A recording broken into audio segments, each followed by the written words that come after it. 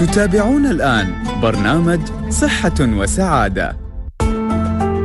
للمشاركة في البرنامج يرجى الاتصال على الرقم 600 55 14 14 أو عبر الرسائل النصية القصيرة SMS 4006 صحة وسعادة.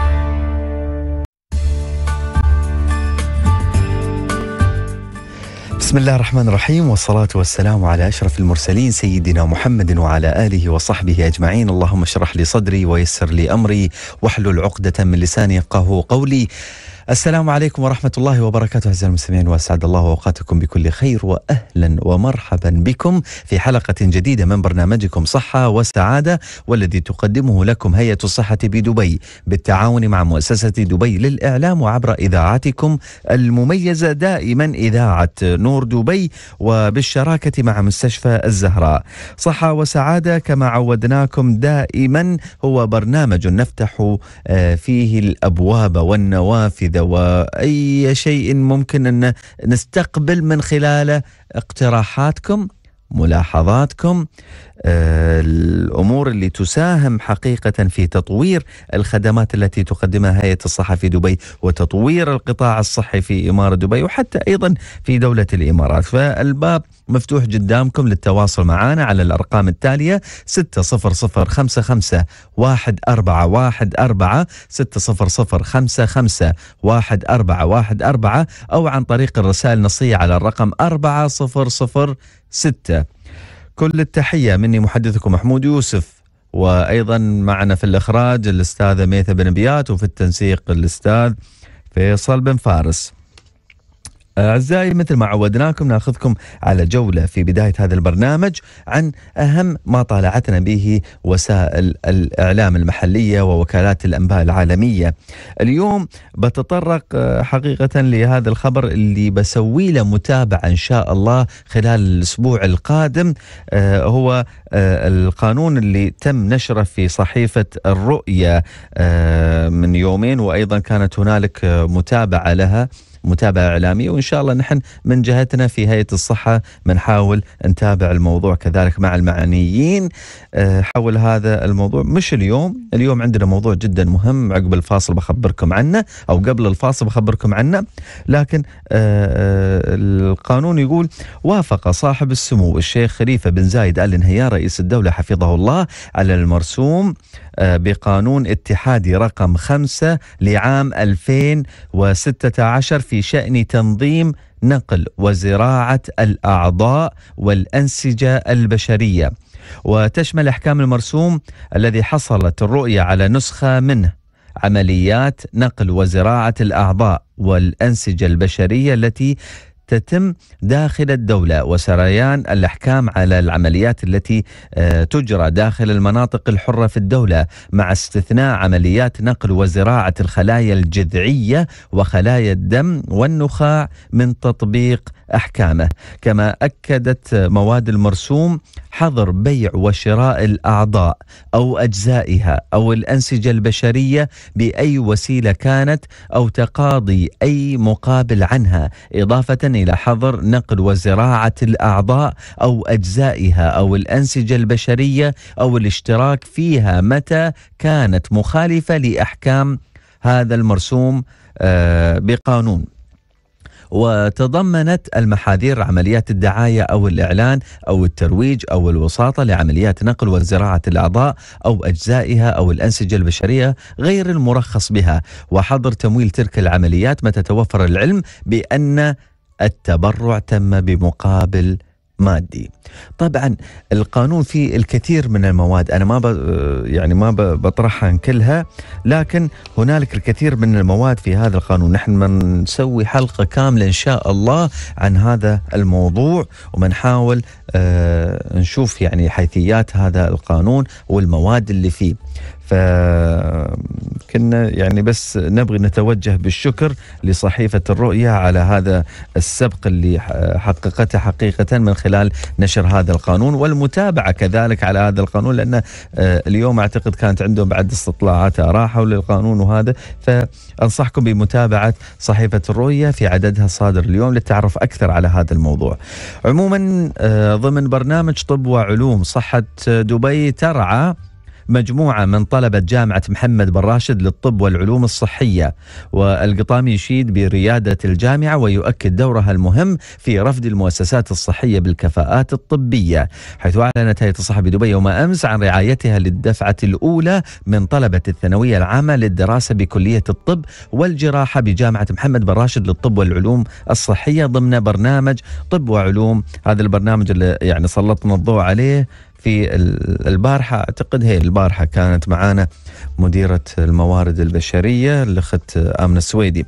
طبعا آه، أكد معالي حميد القطامي رئيس مجلس الإدارة المدير العام لهيئة الصحة بدبي خلال الزيارة التي قام بها صباح آه، صباح أمس لجامعة محمد بن راشد للطب والعلوم الصحية على الدور الرائد الذي تقوم بها الجامعة في مجال تعليم وتأهيل الطلبة وتسليحهم بالعلوم الطبية المتخصصة لرفد القطاع الصحي بالكوادر الطبية والصحية المؤهلة بالعلم والمعرفة والقادرة على التعاطي مع تحديات التطور الطبي التي تفرضها النهضة العلمية في الدول المتقدمة.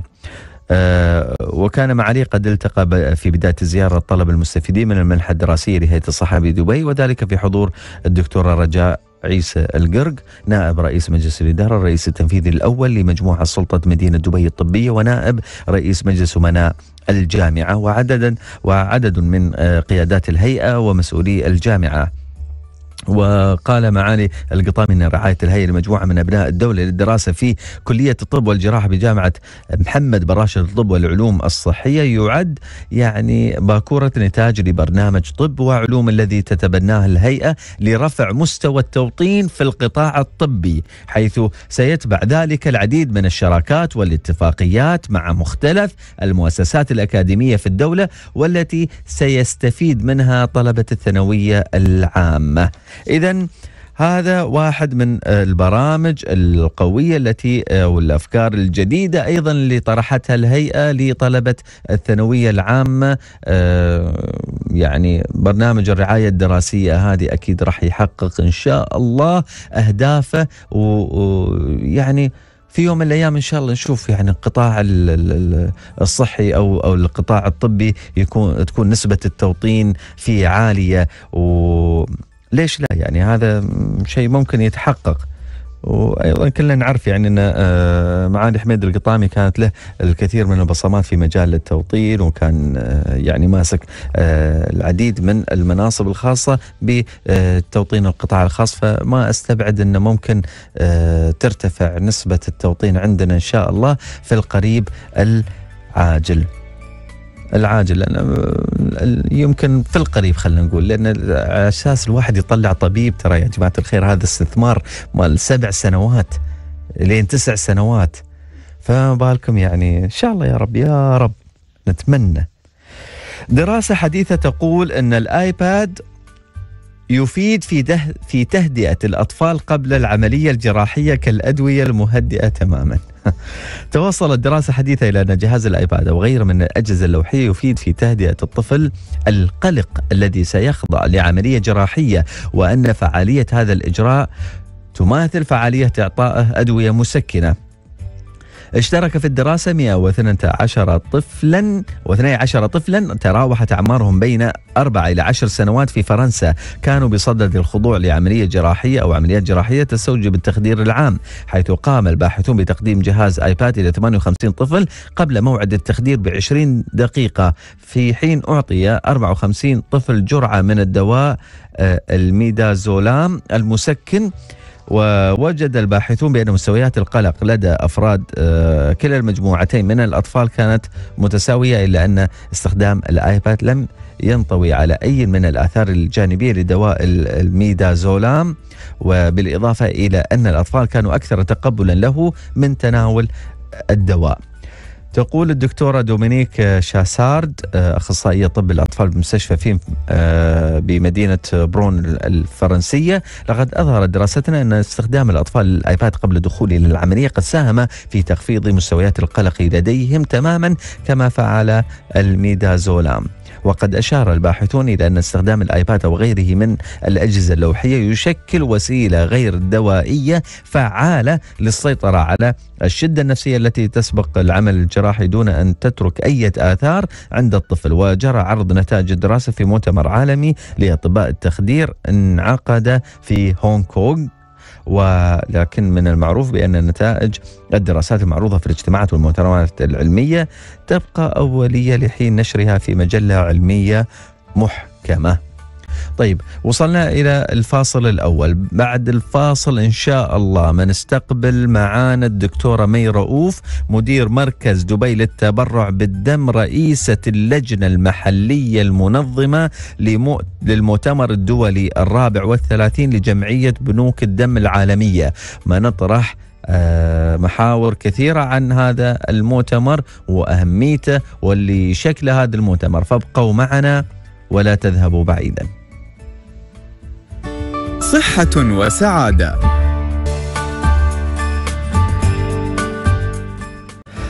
أسعد الله أوقاتكم مرة أخرى مستمعينا الكرام وحياكم الله معنا في الجزء الثاني من برنامجكم صحة وسعادة في هذا اليوم. سوف نتحدث عن واحد من أهم الأحداث الصحية والطبية التي تستضيفها دولة الإمارات العربية المتحدة ودبي على وجه الخصوص ويمكن قد يكون الحدث الأهم في المنطقة حاليا وهو المؤتمر الدولي الرابع والثلاثين لجمعية بنوك الدم العالمية. دبي أول مدينة على مستوى الشرق الأوسط تستضيف هذا الحدث منذ تأسيس الجمعية في أمستردام عام 1935 نتحدث اليوم عن الجهود التي قامت بها إمارة دبي لاستضافة هذا الحدث مع ضيفتنا في الاستوديو الدكتورة مي رؤوف. رئيسة اللجنة المحلية المنظمة للمؤتمر ومدير مركز دبي للتبرع بالدم. حياك الله معانا دكتورة. الله يحييك. أهلا وسهلا. دكتورة يعني ما هي الجهود التي قامت بها إمارة دبي لاستضافة هذا الحدث؟ خلينا نتحد يعني نبتدي أول شيء ما هو؟ أو ما هي أهمية استضافة دبي لهذا الحدث وما هي الجهود التي آه، بذلتموها لاستقطاب هذا الحدث في إمارة دبي كأول مدينة في الشرق الأوسط؟ نعم. آه، طبعا جمعية بنوك الدم العالمية هي جمعية رائدة. تختص في مجال طب نقل الدم وهي أشهر جمعية في هذا في في نقل الدم في العالم. آه، تأسست عام 1935 في أمستردام وفي لها أعضاء المجلس آه، من علماء وخبراء من جميع مختلف دول العالم. منذ تأسيسها في 1935 المؤتمر العالمي اللي ينعقد بين سنة وأخرى كان دائما يكون في أوروبا ويكون سبق سبق وأن آه، تم آه، استضافته في أمريكا سنة واحدة وفي كندا سنة واحدة لكن لم يتم استضافته في الشرق الأوسط. طبعا أهميته بالنسبة أنك آه، عاملين في مجال نقل الدم طبعا هذا شيء يعني له أهمية كبيرة جدا لأنه طبعا خلال هذا المؤتمر خبراء من مختلف دول العالم متحدثين أوراق عمل علمية تعرض لأول مرة رح يتم عرضها خلال هذا المؤتمر. فهي حقيقة فرصة جدا كبيرة لجميع العاملين في خدمات نقل الدم في الإمارات أولا وفي الدول المجاورة لأن يسهل عليهم من الدول المجاورة المجيء إلى دبي لحضور المؤتمر والاستفادة طبعا العلمية. آه، بينما لما يكون في أوروبا أو يكون في أمريكا ومسافات آه، أبعد فيكون صعب عليهم ويكون تكلفته أكثر. فإحنا طبعا فخورين باستضافة الإمارات لهذا المؤتمر العالمي وهو مؤتمر من أرقى المؤتمرات. آه وطبعا الدولة آه بذلت جهود جدا كبيرة لاستضافة هذا المؤتمر. جميل. آه آه تم تقديم العطاء آه لاستضافة هذا المؤتمر في عام ألف آه 2013 في شهر ستة في شهر جون. وشاركت عدة جهات في تقديم العطاء. طبعا كانت جهود جدا حثيثة وكبيرة من قبل دائرة السياحة والتسويق التجاري في دبي وأقدم لهم كل الشكر والتقدير على جهودهم ومساندتهم لنا من أول يوم قدمنا العطاء وإلى حد اليوم وبالذات قسم سفراء المؤتمرات. فهم ناس يعني مجموعة موظفين خبراء متعاونين حقيقة قدموا المجهود كبير وسهلوا عملية تقديم العطاء وتحضير المستندات المطلوبة للعطاء ودعموا المؤتمر يعني لوجستيا بشكل كبير. بالإضافة طبعا إلى مركز دبي التجاري العالمي اللي قدم جهود كبيرة في استضافة الخبراء في في استضافة مسؤولين الجمعية حتى يتأكدون أنه المركز التجاري مجهز بالقاعات وبالأجهزة الصوتية والمرئية اللي يحتاجونها يعني الجمعية والمؤتمر بعثوا حتى خبرائهم من هناك يطالعون ويعاينون المكان. نعم, نعم بعثوهم قبل لا يتم القرار في أنه نستضيف قبل الموافقة. الموافقة. أوكي. نعم. ويعني أحب أذكر للمستمعين أنه عندما قدمنا العطاء سنة 2013 وكانت طبعا العطاء من قبل فريق من وزارة الصحة شاركنا في هولندا معالي سفير الدولة عبد الله النقبي كان معنا في تقديم العطاء وكنا بتنافس مع باريس ومع إيطاليا وكوبنهاجن. وإحنا كنا الدولة الرابعة. فطبعا هذا يعتبر إنجاز كبير لأن هذه الدول أكثرها كانت استضافت المؤتمر سابقا ولهم خبرة في المؤتمرات. بس طبعا يعني مركز دبي التجاري العالمي ودبي على وجه التحديد. هي دولة حاليا يعني فرضت نفسها في الساحة الدولية في مجال صناعة السي... نعم. سياحة المؤتمرات إذا إن صح التعبير. نعم. فقد سبق وأن استضاف مركز دبي التجاري العالمي مؤتمرات عالمية سجلت أكبر عدد مشاركين مثلا مؤتمر السكري مؤتمر أمراض القلب وهذه طبعا الأشياء اللي بينتها مركز دبي التجاري العالمي يعني شاركوا معنا في تقديم العطاء حتى يبينون إمكانيات دبي في استضافة المشاركين من مختلف دول العالم. جميل. دكتورة يعني تحدثنا الآن عن الجهود اللي قمتم بها تحدثنا كذلك عن شركاء الهيئة في استضافة هذا الحدث العالمي المهم. الآن نتحدث حقيقة عن تفاصيل هذا المؤتمر. خلينا نتكلم عن المؤتمر بيبتدي يوم الأحد 4 سبتمبر.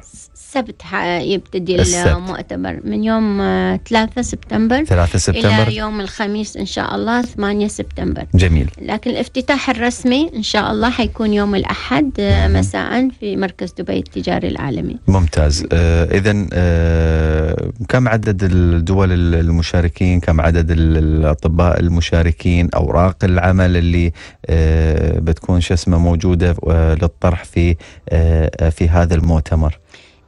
طبعا إحنا نفتخر إنه بالبداية من كنا نقدم العطاء كنا يعني ننتظر إنه يعبر ال 1200 مشارك فكنا ننتظر هذا العدد يعني. لكن إلى حد قبل يومين كان المسجلين 1700 1700 وقابل الزيادة الحمد لله. ومستمر التسجيل إلى أول يوم وثاني يوم بالمؤتمر يستمر التسجيل يعني يوم السبت ناس. والأحد ممكن إيه نعم. اللي حاب يشارك إيه يوصل إيه وعادة. يوم الجمعة أصلا هم المساء فاتحين في مركز دبي التجاري. ما شاء الله. استقبال. عادة دكتورة حتى on spot يعني إيه وقت التسجيل إيه.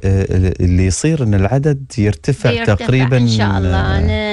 نتمنى يعني إيه أن إحنا طبعا هو المؤتمر انعقد في عدة دول سابقا فإحنا حاليا عبرنا العدد اللي تم تسجيله في كاب تاون اللي هو آخر مؤتمر كان nice. وإن شاء الله نطمح أنه يزيد العدد جميل. التسجيل جميل إذا حتى الآن سيحضر المؤتمر 1700 طبيب ومتخصص آه نعم من 82 دولة بالعالم 82 دولة نعم. في العالم نعم ممتاز. وبالنسبة للمشاركين بالأوراق العلمية رح يتم إعطاء 120 محاضرة يعني في 120 سبيكر رح يتكلم بأوراق عمل وطبعا هذه أوراق العمل تم عرضها على لجان متخصصة حضرت في دبي.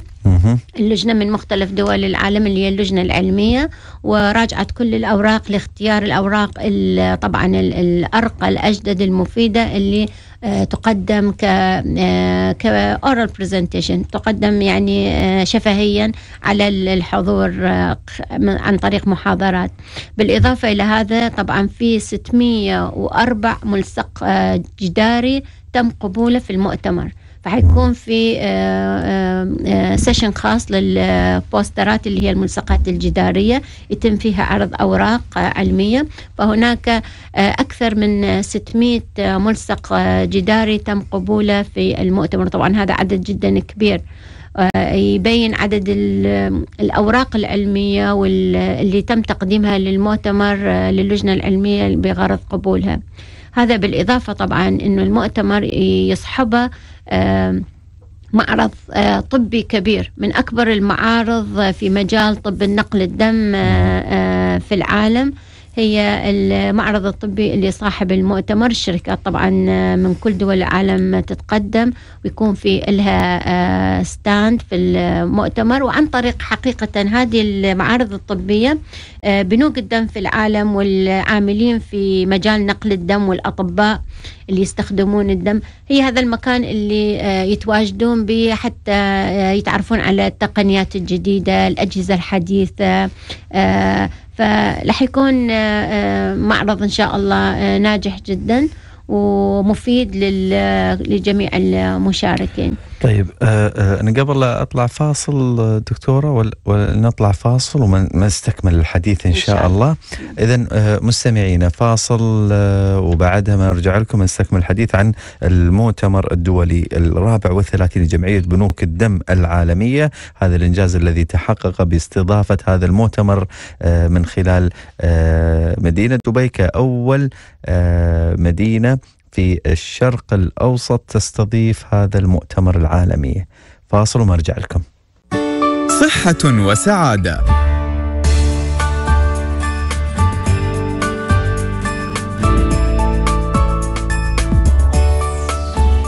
سعد الله أوقاتكم مرة أخرى مستمعينا الكرام وحياكم الله معنا في الجزء الأخير من برنامجكم صحة وسعادة والذي تقدمه لكم هيئة الصحة بدبي بالتعاون مع مؤسسة دبي للإعلام وعبر إذاعتكم المميزة دائما إذاعة نور دبي.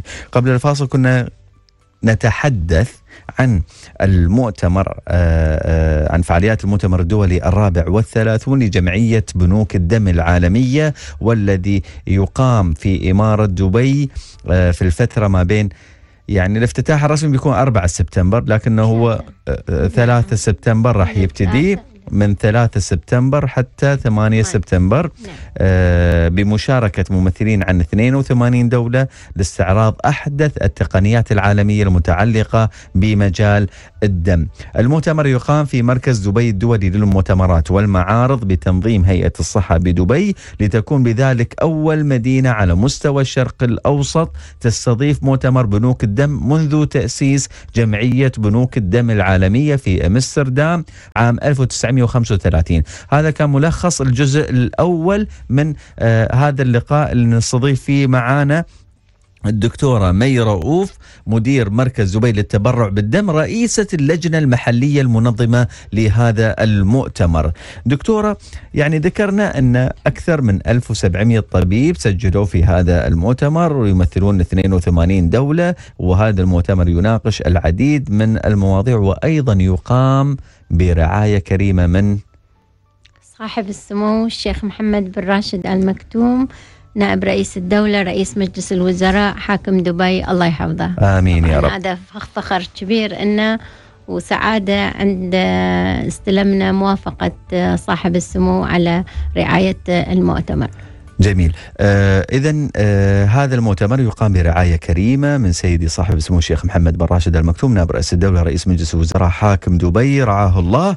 ويعني هذه الرعاية تشكل آه، يعني هي بالفعل تشكل إضافة لهذا المؤتمر أكيد، أكيد. وأيضا تشكل كذلك تكليف كبير على أكيد. القائمين على هذا المؤتمر نعم. لإنجاحه بشكل كبير طيب مم. الآن نتحدث دكتور أن هذا المؤتمر آه، بيناقش العديد من التقنيات العلمية الحديثة اللي آه، تدعم سلامة وأمن آه، أمان نقل الدم نعم الآن ذكرت أن هنالك شخصيات يعني مهمة سوف آه تحضر هذا المؤتمر. خلينا نعم. نتعرف على أبرز الشخصيات اللي ممكن آه الناس آه يشوفونهم في هذا المؤتمر.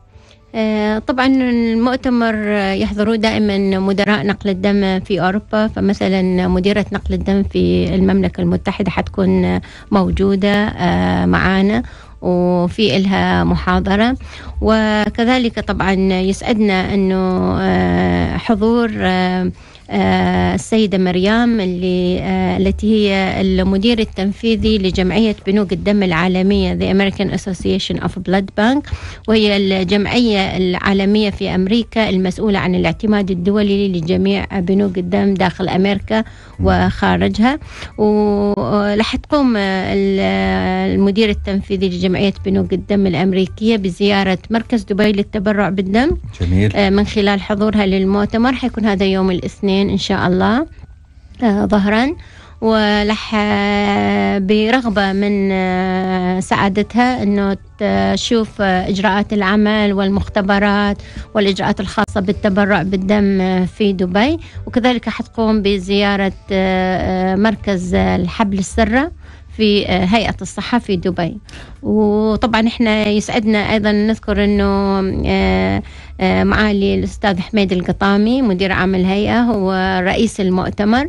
وفي هذا المؤتمر طبعا نتقدم بالشكر طبعا الجزيل إلى المسؤولين في وزارة الصحة وهيئة الصحة في دبي وصحة في أبو ظبي لأن المؤتمر يعتبر مؤتمر الإمارات. شاركوا باللجنة العلمية ولجنة التحضير من من جميع الهيئات الصحية داخل الدولة نحن كم ورقة عمل مشاركين فيها دكتورة؟ آه، شارك مركزنا مركز دبي للتبرع بالدم بعدد خمس ملصقات جدارية. وراح يكون في عندنا أربع محاضرات آه، علمية يعني إحنا مشاركين في التنظيم آه، بس أيضا إحنا مشاركين بأوراق. بأوراق آه، عمل علمية كذلك طبعا في أوراق عمل علمية أخرى من آه، صحة في أبو ظبي ومن وزارة الصحة في مجال نقل الدم فالحمد لله كانت مشاركتنا العلمية جيدة في هذا المؤتمر طيب الآن بما أن أنت ذكرتي هنالك زيارة سوف تكون من رئيسة آه، جمعية جمعية الدم بنوك الدم في. آه، نعم. في أمريكا مم. آه، خلينا نتحدث عن مركز دبي للتبرع بالدم فيما تبقى من آه، هذا البرنامج وإن شاء الله سوف نعرج على أهم الأشياء إذا إذا إذا فوتنا شيء عن المؤتمر في, نعم. في قبل قبل لا نختم البرنامج. لكن مركز دبي للتبرع بالدم يعني يقوم بجهود كبيرة. هذه الجهود اللي آه، يعني تتجسد في تغذية العديد من المستشفيات في القطاعين العام والخاص في إمارة دبي بالدم. نعم. فخلينا نتكلم عن هذا المركز. أول شيء وين وين شايفين إعماركم أنتم على مستوى العالمي كمركز آه، دبي للتبرع بالدم وأيضا الجهود اللي تقومون فيها في هذا المجال؟ آه، طبعا مركز دبي للتبرع بالدم في هيئة الصحة بدبي هو أول مركز داخل دولة الإمارات تم اعتماده حصل على الاعتماد الدولي من جمعية بنوك الدم العالمية. وهذه نعم. جمعية معروفة بصرامة معاييرها ومتطلباتها. وبالإضافة لهذا بعدها بنوك الدم في وزارة الصحة والصحة آه، أخذت الاعتماد الدولي. أخذ الاعتماد الدولي مرتين. وإن شاء الله في نوفمبر القادم آه، تزورنا لجنة التدقيق لاعتماد المركز بإذن الله تعالى للمرة الثالثة. وهذا. طبعا إنجاز كبير لأن الدول في المنطقة اللي تم اعتمادها من جمعية بنوك الدم العالمية الأمريكية جدا قليلة. صحيح. وهذا يعكس طبعا آه، سلامة نقل الدم ودقة الإجراءات المتبعة في المركز.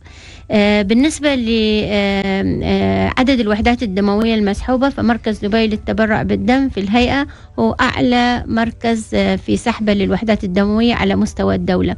حسب إحصائيات عام 2015 تم سحب أكثر من 48 ألف وحدة دم وأكثر من 5000 آه، وحدة للصفائح الدموية المركزة. نعم. وطبعا المركز يعت- يعتمد على التبرع بالدم الطوعي التبرع بالدم الكامل. طوعي من قبل المتبرعين الكرام ويغطي آه، 15% من الوحدات الدموية المسحوبة والمفحوصة آه، تذهب إلى القطاع الخاص. و38% تروح إلى مركز الثلاسيميا لأن هو طبعا الجهة ال- ال- المستفيدة آه، بشكل كبير آه، من الدم لأن طبعا مرضى الثلاسيميا آه،. علاجهم الأساسي هو نقل الدم المتكرر. صحيح. فالحمد لله في كثير من التقنيات موجودة في المركز هي الوحيدة في الدولة. فأدخلنا مثلا في بداية هذه السنة آه، تم إدخال تقنية لفصل الدم إلى مكوناته بطريقة آه، تضمن سلامة وجودة الوحدات الدموية وهذا أول مركز بالدولة. والحمد لله يعني إحنا طبعا آه، نفتخر في دولة الإمارات بمستوى خدمات نقل الدم. حقيقة آه، آه، مستوى خدمات نقل الدم في الإمارات متميزة على مستوى المحلي والعالمي. وهذا طبعا اللي أفصحت به منظمة الصحة العالمية في آه، 2010 أنه الإمارات من أفضل خمس دول في العالم في مجال سلامة ومأمونية نقل الدم الحمد لله الحمد لله أيضا نحن في آه، 18 أبريل ال- ال- الماضي أطلقنا حملة مع آه، نعم. نجم آه، كرة القدم ال- آه، كريستيانو رونالدو نعم. حملة تكون الأول في التبرع بالدم هذه الحملة يعني زادت في الإقبال على مر- مركز التبرع بالدم في اماره دبي وأيضا نعم. عززت ثقافة التبرع التطوع لصالح المرضى في المستشفيات الحكومية والخاصة. ف يعني خلينا ناخذ جولة سريعة عن آه، آه، هذه الحملة شو اللي صار فيها وشو اللي نعم. اهدافها وكيف آه، يعني عززت هذه نعم. الثقافة. إحنا طبعا فخورين بأنه أطلقنا حملة كن الأول بالتبرع بالدم اللي يرعاها لاعب الكرة كريستيانو رونالدو الغاية منها طبعا تشجيع وجذب انتباه الشباب وطبعا جميع الجمهور من مختلف الأعمار لكن ال- الهدف الأصلي هو الشباب لأن الشباب إذا تعودوا يتبرعون بالدم بعمر صغير راح يكون هذا their lifestyle فدائما. يتبرعون وطبعا يكونون قاعدة أساسية للدم. الدم طبعا دائما إحنا نقول إنه ما في إله بديل ولا يمكن شراءه ولا يمكن استيراده. الدم يجي من البشر. فلذلك التوعية توعية الجمهور وأعطاهم المعلومات إيش قد مهم إنهم يكونون جزء من قاعدة المتبرعين بالدم. حتى دائما يكون في عندنا خزين نقدر نغطي حاجة المرضى. فالحملة طبعا فيها إقبال كبير زاد عدد المتبرعين داخل المركز. بنسبة ملحوظة يعني إحنا دائما اعتمادنا على حملات التبرع بالدم الباص اللي يطلع مكانات خارج المركز صحيح. لكن بعد إطلاق الحملة زاد عدد المتبرعين اللي يتوجهون إلى المركز للتبرع بالدم والحمد لله يعني آه البارحة قبل ساعات آه آه كريستيانو رونالدو آه كتب شكر لهيئة الصحة في دبي على الفيسبوك الخاص به وحتى أطلق فيديو في صور من أماكن الهيئة المستشفيات مركز دبي للتبرع بالدم والمسؤولين اللي رعوا آه، إطلاق حملة بي ذا وان كن الأول في التبرع بالدم جميل. فهي حملة تثقيفية وتوعوية واللي هي طبعا جدا مطلوبة بالنسبة للتبرع بالدم. طيب الآن ما نتكلم عن أو قبل لا نتطرق إلى فوائد التبرع بالدم خلينا نتكلم عن الأشخاص اللي حابين أن آه، يتبرعون بالدم. كيف ممكن يتواصلون معاكم؟ آه، إحنا في عندنا طبعا آه، مركزنا في دبي داخل حرم لطيفة. فاتحين آه، بالنسبة للعمل من الساعة السابعة والنصف إلى السابعة مساء من أيام ال- ال- الأحد إلى الخميس. وإذا في أي آراء أو مقترحات آه، عن طريق وصل صوتك آه، عن طريق هيئة الصحة نستلم آه، بصورة مستمرة بعض المقترحات نستلم شكاوي. دكتورة؟ آه، يعني غير 80342 ما يحضرك الحين بس مو. مشكلة أنا أتصور نعم. حتى حتى 80342 ممكن آه، يحولون علينا على الرقم. إي نعم وممكن إيه. يردون على الاستفسار كذلك نرد والله أنا برد من يحولون لي التليفونات آه، برد آه، على التليفونات بس ونبعث يعني كذلك يعني رسائل بالنسبة إلى بعض المقترحات آه، جميل. للمتبرعين جميل الآن فوائد التبرع بالدم على مم. طبعا اولا هو عمل إنساني آه، يقدم المتبرع للمريض المحتاج وفي ميزان حسناته. التبرع بالدم المتكرر بصورة مستمرة يساهم في تجديد خلايا الدم تنشيط النخاع العظم لإنتاج خلايا دموية جديدة. بالإضافة لهذا يساعد على آه، تقليل نسبة الإصابة بالجلطة الدماغية والجلطة القلبية ويقلل من نسبة الحديد الزائد في الدم خصوصا عند المدخنين اللي يدخنون بصورة مستمرة فيكون نسبة الحديد آه، ليس بالشيء الجيد يعني على صحتهم فالتبرع بالدم يساعد في آه، تقليل نسبة الحديد. بالدم ودائما المتبرعين يحسون بنشاط وحيوية بعد التبرع بالدم. في كثير ناس يقولون إنه آلام المفاصل بتروح عنهم آه، الصداع بيروح عنهم. ف علميا هو مثبت هذا مثبت هذا الموضوع إنه ممكن يخفف آلام المفاصل أو الصداع.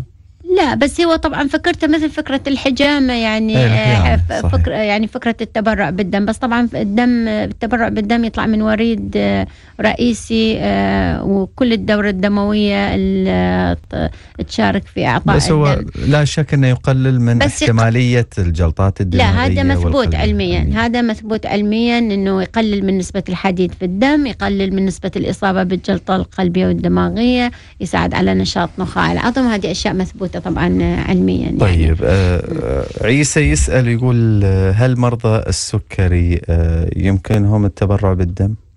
آه، إذا هم ياخذون حبوب كعلاج للتبرع بالدم آه، فوقت التبرع بالدم بنقيس آه، السكر وإذا كان بالمستويات المقبولة يتبرع بالدم.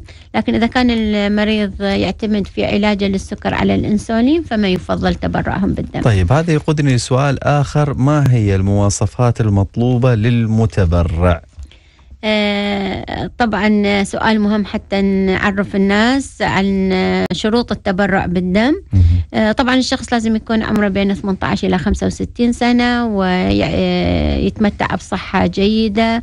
في يوم التبرع بالدم ما يكون في عنده حرارة أو يكون مثلا عنده التهاب مثلا أو ماخذ برد فتكون بصورة عامة صحته جيدة.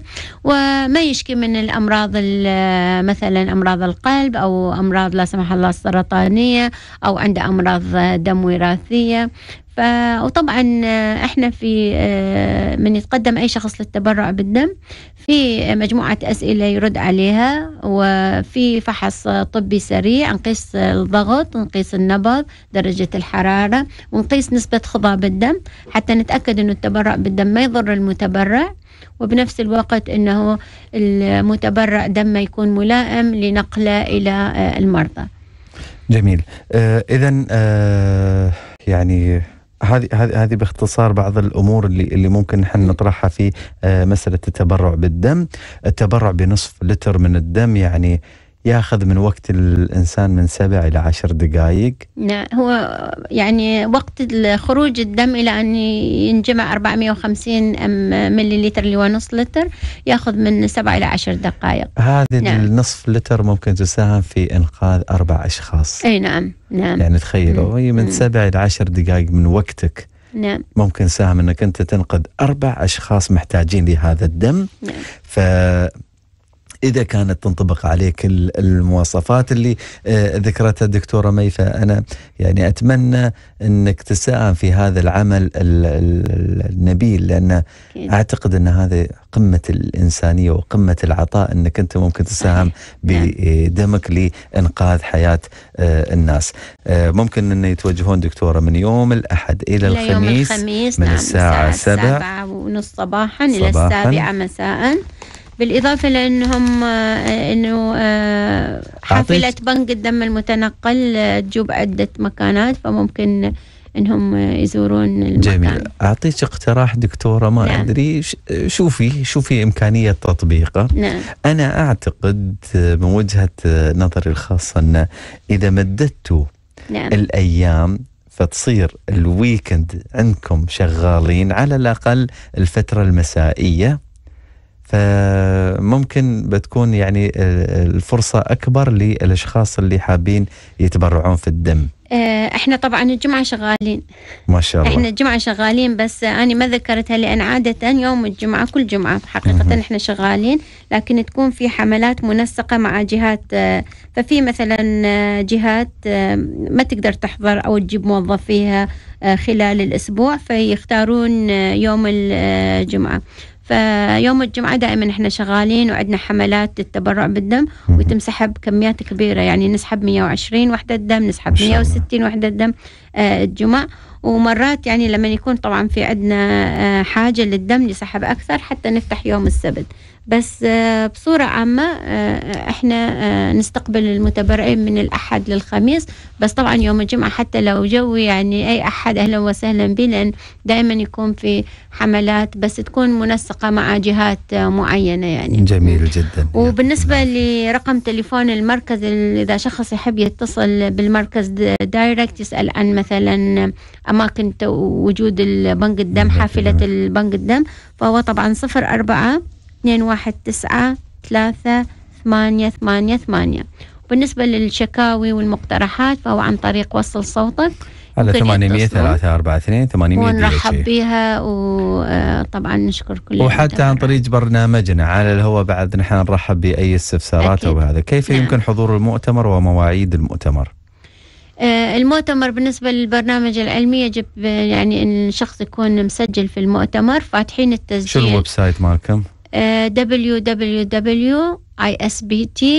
www.isbt.dubai.com هذا عن آه، عن طريق ال link هذا ممكن ان يسجل في هذا نعم. الحين من يوم الجمعة إن شاء الله من باكر آه، بعد الساعة السادسة مساء يكون موجودين الطاقم آه، الجمعية للتسجيل بنوك الدم في المركز العالمية في التجاري. الت- في المركز التجاري فاتحين التسجيل ويوم الأحد طبعا من ساعة بالسبعة ونص يكون التسجيل مفتوح يقدرون يسجلون ويطلعون على البرنامج العلمي آه، من خلال ال- الموقع الإلكتروني للمؤتمر. آه، يوم السبت بعد التسجيل مفتوح اعتقد آه،؟ السبت حقيقة برنامج علمي كامل موجود أي. يشاركون باليوم الأول يوم السبت رح نشارك إحنا مركز دبي في إعطاء. محاضرة جميل وفي محاضرين من السعودية ومن. الكويت. ومن المغرب العربي وفي محاضر من كندا وفي محاضر آه، من قطر ومن أمريكا. ففي يوم السبت برنامج علمي كامل بس هو آه، جرى آه، إحنا ما تكلمنا عن الجوائز اللي حيتم تقديمها خلال آه، المؤتمر آه،. هو المؤتمر في عنده بروتوكولات خاصة فهم دائما متعودين إنه يسوون لأن هذه الجمعية بتعمل مؤتمرات بين سنة وأخرى العالمية مهم. فمتعودين إنه الافتتاح الرسمي يكون اليوم الثاني اللي هو يوم الأحد مساء فإحنا ماشيين على نفس البروتوكول اللي هم معتمدين عليه أحب بس أذكر على السريع. المؤتمر عادة يقوم بتقديم جوائز خلال المؤتمر. جائزة تروح للدول النامية وهي الدول اللي تكون آه، إمكانياتها المادية ضعيفة ويبذلون الناس فيها مجهود كبير لتطوير خدمات نقل الدم في طبعا عندهم آه، لجنة آه، استشارية عليا اللي هي تشوف خدمات نقل الدم في الدولة وتختار. الدولة آه،. يعني اللي تفوز بالإضافة لهذا في جائزة لأحسن ورقة علمية يتم نشرها في مجلة Vox Sanguinis اللي هي مجلة عالمية في نقل الدم فيختارون أفضل ورقة علمية تم تقديمها في العام. السابق أي. ويكرمون تكون طبعا لازم ورقة علمية أصلية يكرمون آه، ال- كاتب يعني الباحث, الباحث اللي. أنشر ال- البحث بالإضافة لهذا في الجائزة الأخيرة اللي تقدمها الجمعية لموظفيها كأفضل موظف فيقدمون يعني حتى يشجعون موظفيهم لل- للعمل بجد وبتفاني.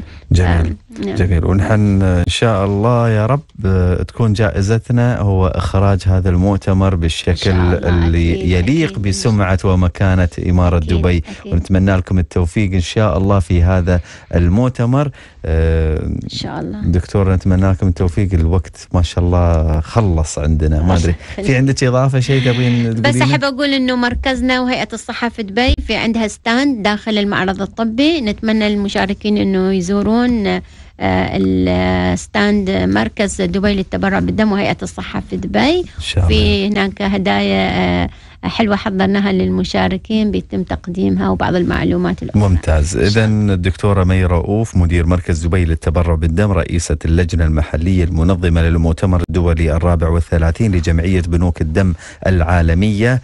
آه، شكرا جزيلا لك آه، على آه، تواجدك معنا. وأيضا كل الشكر لكم مستمعينا الكرام. نذكركم بأن إن شاء الله المؤتمر الدولي آه، الرابع والثلاثين لجمعية بنوك الدم العالمية الذي يقام لأول مرة في الشرق الأوسط في إمارة دبي يقام برعاية كريمة من سيدي صاحب السمو الشيخ محمد بن راشد آل مكتوم نائب رئيس الدولة رئيس مجلس وزراء حاكم دبي. وإن شاء الله سوف آه، يكون يعني إضافة كبيرة. آه، آه، حقيقة أنا أشوفه يعني هذا المؤتمر آه، آه، يعني وجوده في دبي إضافة له. صح.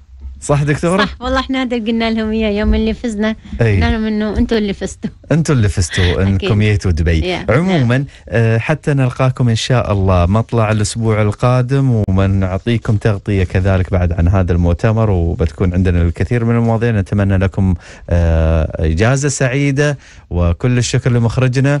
نحن بدينا بميثم نبيات والحين عندنا عيسى سبيل كل الشكر لك وأيضا كل شكرا لفيصل بن فارس. وهذه تحياتي محدثكم محمود يوسف العلي وحتى نلقاكم إن شاء الله. نقول لكم دمتم بصحة وسعادة. صحة وسعادة بالتعاون مع هيئة الصحة بدبي.